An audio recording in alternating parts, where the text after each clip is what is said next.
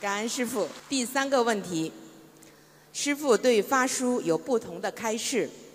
如果是由于，嗯、如果是由于把这么好的法门去介绍给其他人，那么他的功德呢，不但可以消业障，而且功德不会减少，会得无边无量的功德。嗯，并且如果到时候是发出的书被丢弃了，是不是也会没有业障？所以这个问题是这样的：如果你发书的时候呢，比方说人家要看，你发给人家，那你当然有功德。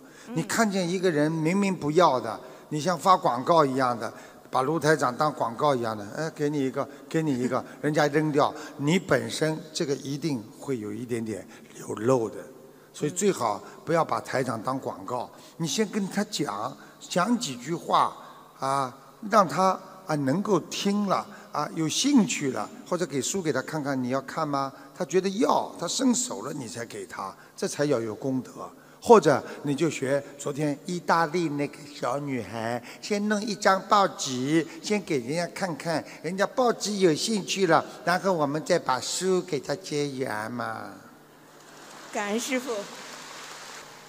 那么如果呢，他是出嗯、出于为了做功德而去发书，那么这个功德消除业障后会减少。如果出现书籍被丢弃的话，是不是就有业障？应该不会，只要他很用心的去发，他会消业障的。因为这个发书能够度到人，但是呢，就算人家不看，其实人家现在也很尊重这些佛法的东西，不应该会丢弃的。听得懂吗？就像我们看到一本西方啊，比方说圣经啊什么，我们也不会把它扔掉呀。啊，酒店里他都放一本呐、对不对呀？我们也放在边上，看不看是你的事情嘛，对不对呀？尊重其他法门啊，尊重所有的宗教，那佛教才会在世界上成为非常非常重要的一个宗教，能够让世界和平的宗教之一啊，这很重要。谢谢师傅开示。那么再次感恩南无大慈大悲救苦救难广大灵感观世音菩萨摩诃萨，感恩恩师卢军宏台长。杭州共修组呢也向大慈大悲观世音菩萨忏悔，向恩师卢军宏台长忏悔，忏悔平时弘法过程中的不如理不如法。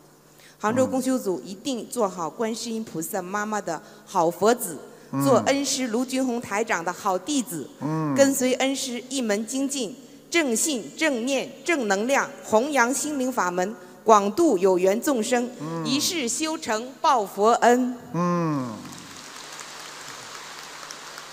最后，祝恩师卢军宏台长法体安康，功力增强，常驻在世，救度更多的有缘众生。谢谢你。还要我增强功力啊？嗯，谢谢。